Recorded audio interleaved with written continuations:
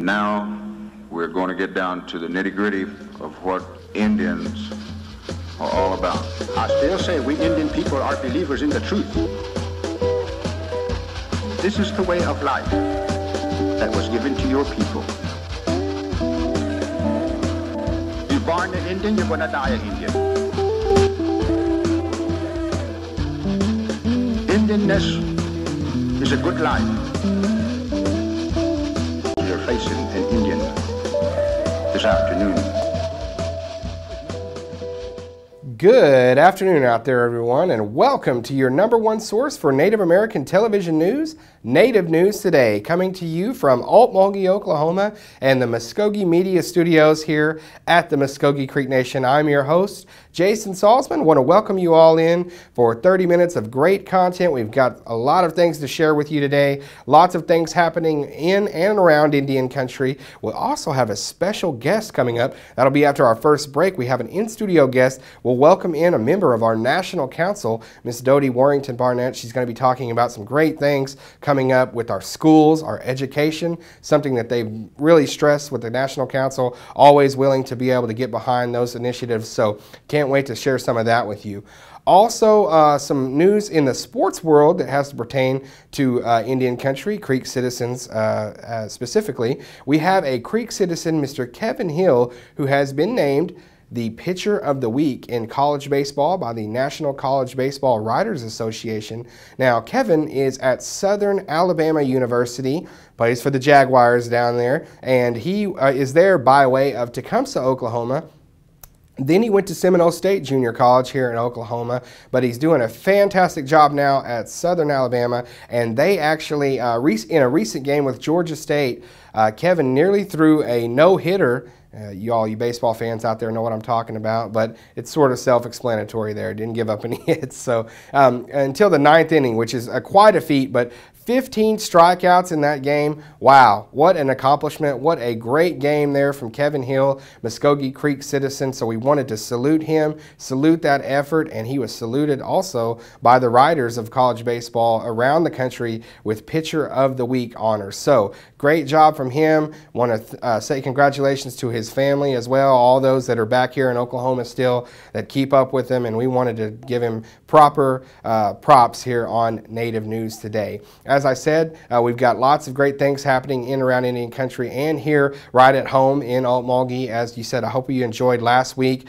with us out by Loop 56 and you could see the College of the Muscogee Nation there in the background. Well, last week then, Friday, they had their commencement ceremony, the, the graduation. We always love when it's graduation time around College of Muscogee Nation because not only is it a chance to uh, support and publicize all the great things they're doing there, but students coming through the college, graduating, and for the first time, I think, uh, graduation was at the new Student Center. So that was something that was really cool. We'll show you uh, that a little bit, a little bit Later on in the program, we'll have scenes, uh, comments from the College of Muscogee Nation graduation ceremony. So lots of great things to get to, but we're going to take a break really quick, our very first break. Don't go anywhere. We'll be right back in studio with Dode Warrington Barnett from the Creek Nation National Council. We believe if you teach a man to fish, you can feed him for a lifetime. We believe that transitioning convicted citizens back into our communities enhances public safety. We believe that every citizen, even ex prisoners, are important and are capable of change. We believe in reclaiming our citizens and investing them back into a culture that embraces healing and restoration. We believe in reintegration. I pledge to embrace and educate offenders in an effort to stop their abuse. I pledge to all women to love them, protect them, and teach them that violence does not belong in our communities and is not our tradition. I pledge to take full responsibility for myself and the women and children of the Muscogee Nation. I pledge to work courageously and audibly to fulfill this pledge for the rest of my life.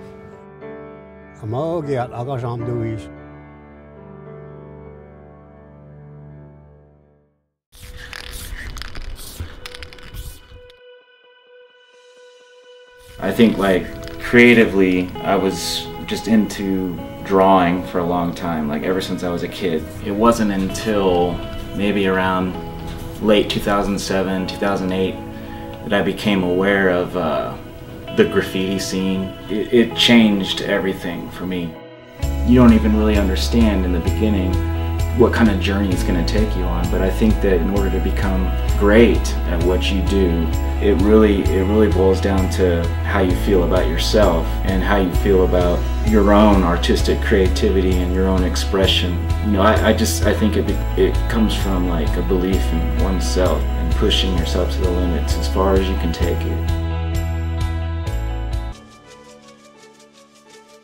Pumakasam gadat, ibufanga, nage, omega, omis. Diosnuk, that's true. Throughout the generations, our elders have taught us to preserve, share, and more importantly, protect the abundant natural resources we have here in Oklahoma.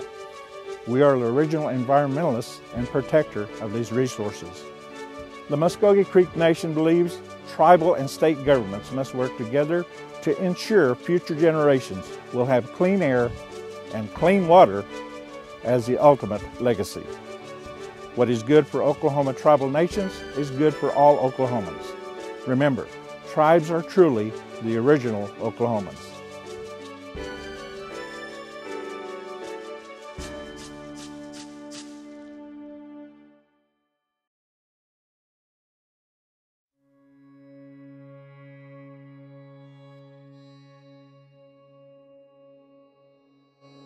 It's more than just an associate degree. It's a life-changing experience. You'll see a lot of cultural features here on the campus. You'll see a symbol of the mound which goes back to the history of, of Muscogee people as being in that Mississippian time period, that mound building society. That really welcomes our students whenever they first get here. The college in itself is beyond the building is the people. They're passionate, very passionate about what they teach, and it shows whenever they're teaching. The instructors and the administration, they really believe in their students here.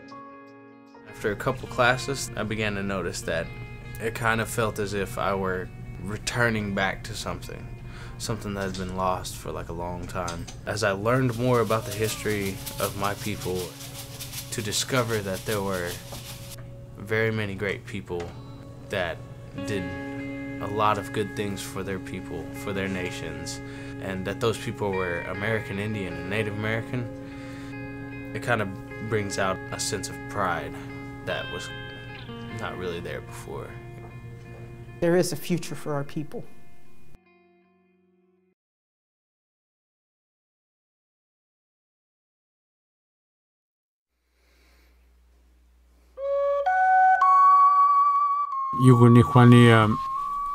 man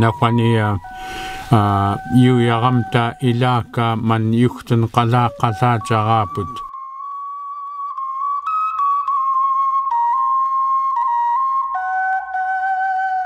For me as an artist working in a visual language, which is, you know, the Tlingit art, keeping the the actual tongue alive is vitally important because it completely informs the art form itself.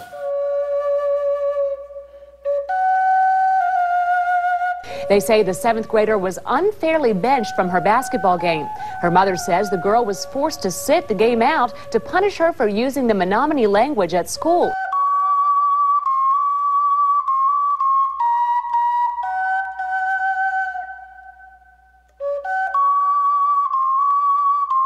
All of us, we're all over the world, we're waking up. It's a global indigenous revolution and it's happening now. These are important times. These are important times and we're not alone. We're not isolated in our villages of Alaska. We're together.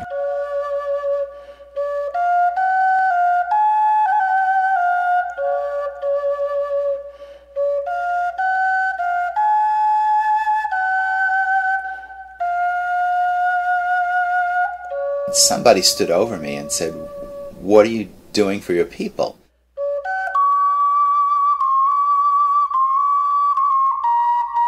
Our generation is the last chance because if we don't do it now, our first language spe- speakers will pass away and our language will go with them.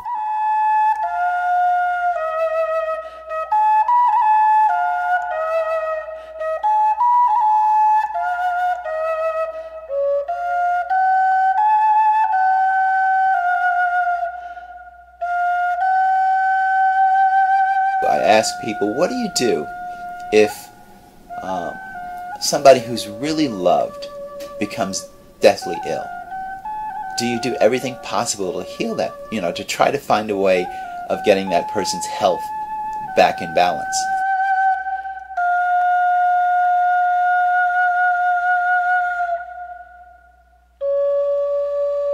Anatiniate hiha.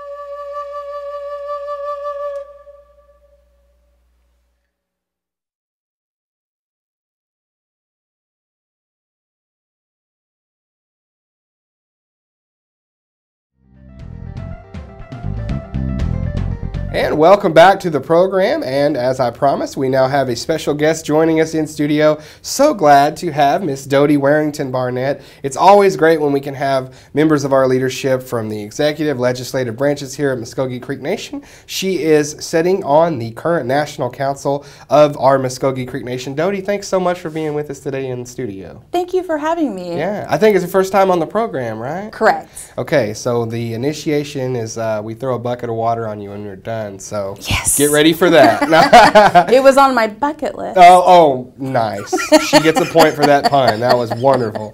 Well, the reason we wanted to bring you in today is talking about some of the things that the council has been doing lately, but specifically, uh, one of the things that you've really championed is getting uh, STEM education into some of our schools. Now, STEM. Now, I'm thinking science, technology. Help me out. Engineering, Engineering and math and mathematics. Yes. Four things that I was horrible in in school. no, but uh, STEM is something that you know nationwide. A, a, lot of schools are doing more of. They're doing uh, fun ways to get students involved in those things that you said: science, yes, mathematics, whatever. Um, and, and, it's something that you brought uh, to the council. But talk a little bit about that. What what really got you started, and what made you want to bring that to our schools? Oh wow. Well, I think being a mother, mm-hmm. I have four children, and all of them seem to be just inherently stronger at math and science than mm-hmm. they are at other subjects.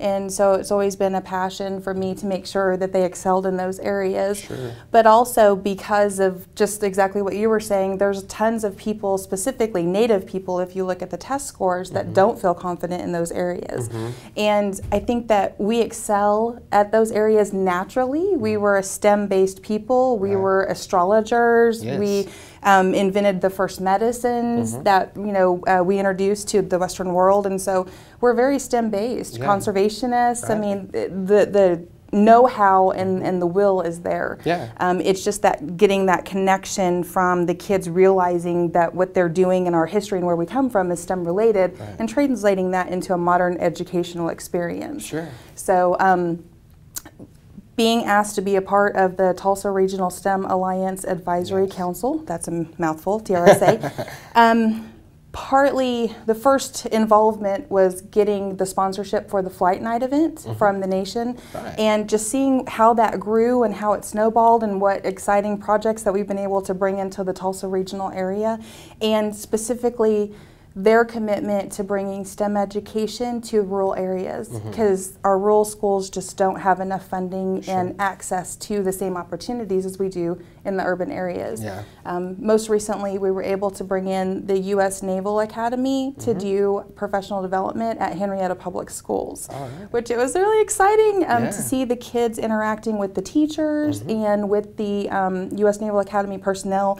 They brought their teachers and they also brought uh, midshipmen with them, so cool. the kids saw someone that was very close to their own age doing very these amazing cool. STEM-related activities, and um, several of the younger people, there was one uh, young lady in particular that was very articulate when we were eating lunch together, and she said that if every day was like that day of professional development had been, mm-hmm. how many more students would you be able to attract to stay in school and to excel in school? Yeah. She said that the two hours they worked that morning felt like 20 minutes because it flew by yeah. so fast and that they were so excited and so immersed in the activities that they were doing. Well, yeah, and you know, you could see the students, um, and, and shortly here in just a moment, we're going to show what you're talking about, but you could see the students really getting involved. It's something that really stimulates them. I love that you tie it in with the way that we were just as a any pre uh, even pre-contact, talking about engineering. I think about our uh, advanced irrigation systems, how they've been modeled after other things, and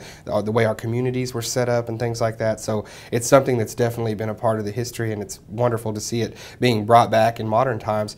This also segues into some more opportunities that we're going to be having. I know you're really excited, as I am. I can't wait to show our viewers about the Botball Challenge Oh coming my up at the. Dome. Our Muskogee Dome is going to be hosting, um, you know, this Botball, and, and explain that to, to some people out there that may not know exactly what that's going to be. So the nation, our education department, um, we partnered with the Botball Institute. Mhm. They are out of Norman. Mhm. Their curriculum was actually invented by a professor at OU, and um, it's administered by the KIPR.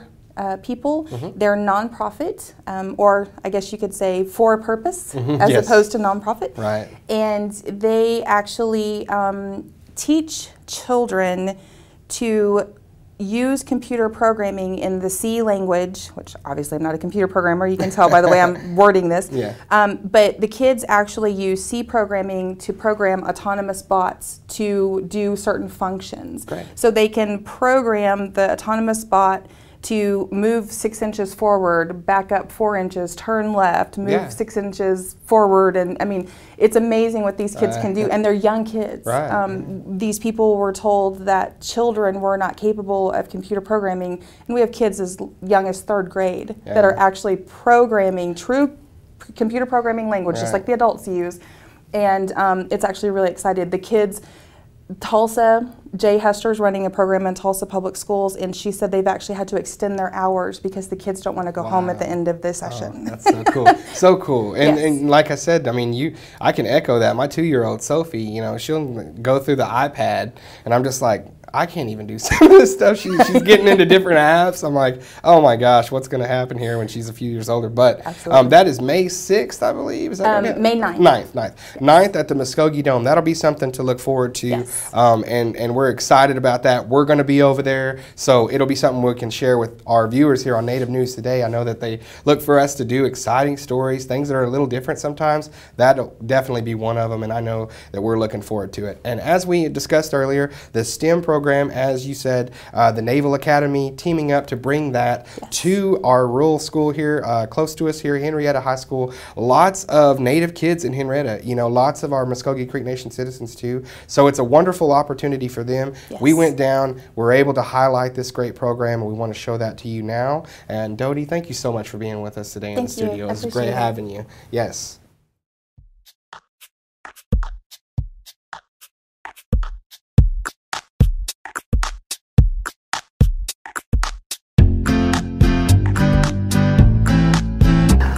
Have invited the Naval Academy to come and put on a STEM workshop for not only our teachers, but the teachers in the surrounding area.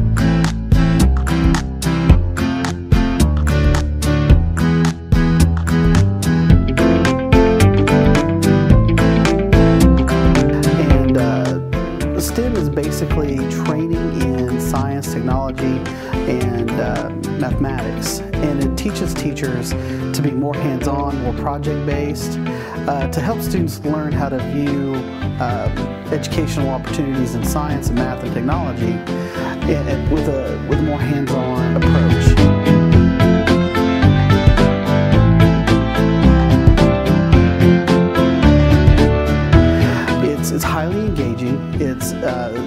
Research shows great efficacy for learning with these students and with this type of program. And with the passage of the bond here in Henrietta just a couple of months ago, um, we're going to be building a brand new science STEM building just south of our current location now by our middle school, and we'll be implementing a STEM program here at the high school. What's really exciting about STEM is the very programs that engineering firms all across America use. That'll be the same uh, computer program that our students will be able to utilize here at our school too.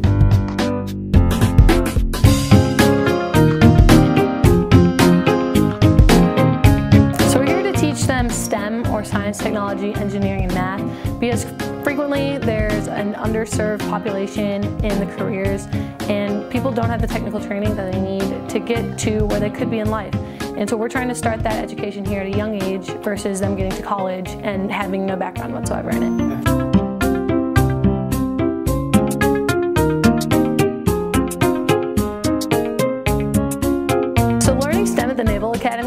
Awesome because we have a plethora of resources that are available to us and we're not fighting with graduate students to use those resources, which is very unique to our program because at most large universities, they're fighting with graduate students and graduate students are either teaching their classes or are taking precedent on equipment. So we have actual professors who all have masters or doctorates in their field who are the ones teaching us the subject material.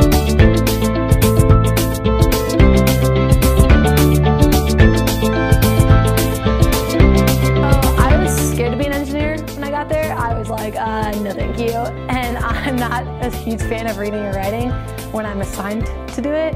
Um, I'll read and write on my own terms, but not on like an English department terms.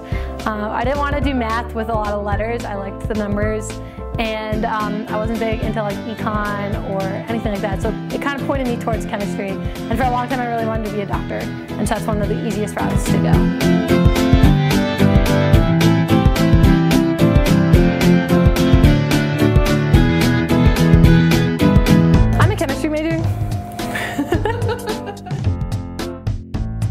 Okay, and that, that'll give you a little bit of a glimpse of what we're wanting to bring to the rural schools in and around the Muscogee Creek Nation boundary there, the STEM program, science, technology, engineering, mathematics. And once again, thank you so much to Dode Warrington Barnett for stopping in with us in studio and chatting about that, and as well as the Botball Challenge coming up definitely look for that coverage on Native News Today. Well, as I said in the opener, the College of the Muscogee Nation recently celebrated their latest commencement ceremony. Lots of graduates coming through wearing the cap and gown. I think they're uh, allowed to wear feathers and, you know, uh, support their heritage in their cap and gown. Not all students are allowed to do that. We'll have some of that uh, on Native News Today in the coming weeks. But uh, it's one of those things where we love seeing the college have a class come through, a new fresh crop of students. It's something that, you know, when we first had the idea for the college, you know, you wanted there to be uh, lots of students coming through residential places,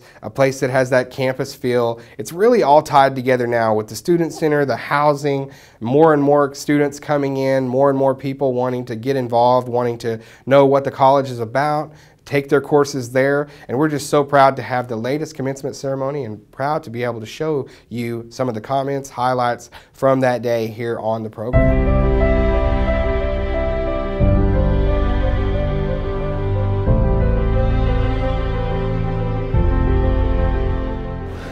This is our seventh graduation, and we've had probably about uh, 200 graduates. It's been wonderful. I consider this college literally like a second home. Faculty is very friendly, very helpful.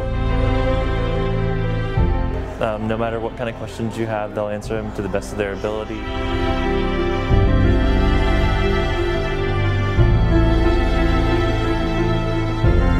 Well, the message is our students proving that they can uh, be successful in, in college. First time they've actually been the majority. They, they're being taught by Native instructors, they see Native administrators, see Native staff, and they see na Native classmates.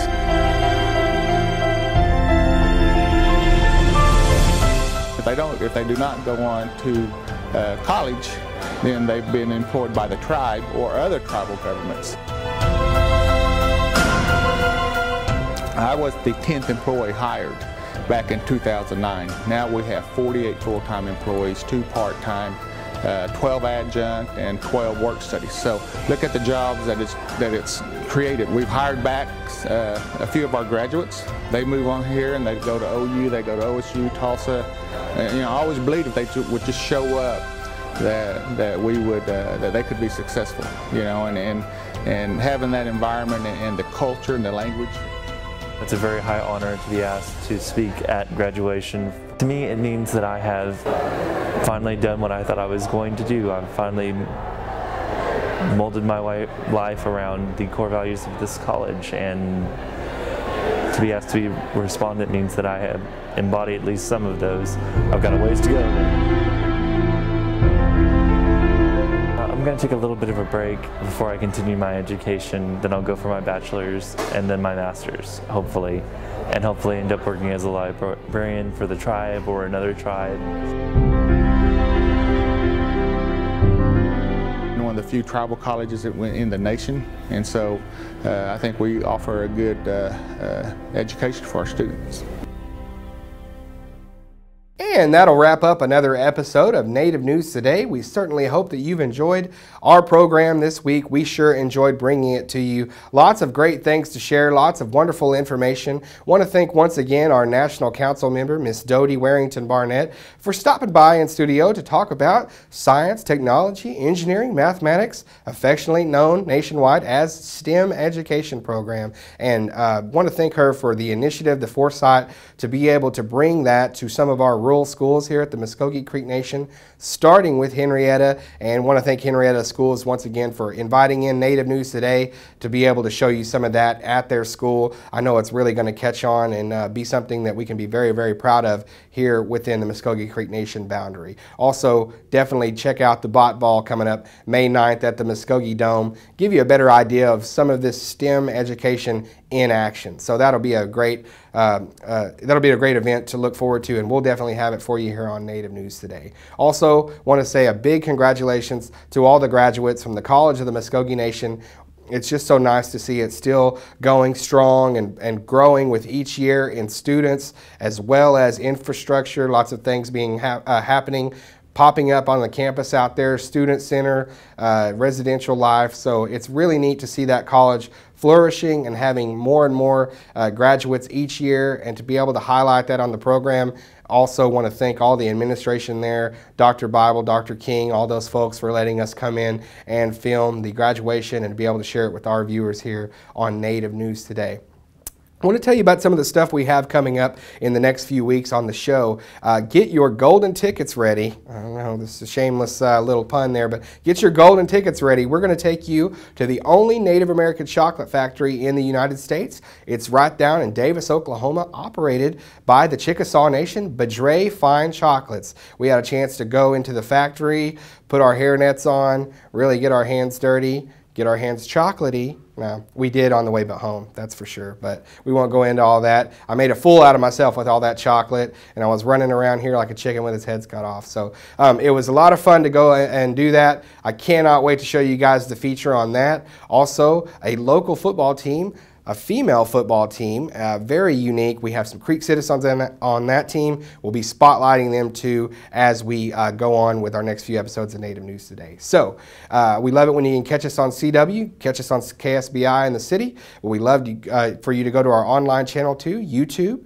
Check us out there, Mvskoke Media, Native News Today, Twitter at Native News Guys, Facebook. See what we're doing throughout the week. Keep keep up with us on all of our social media outlets. So for everybody here that does a great job on the show, we'll see you guys next week.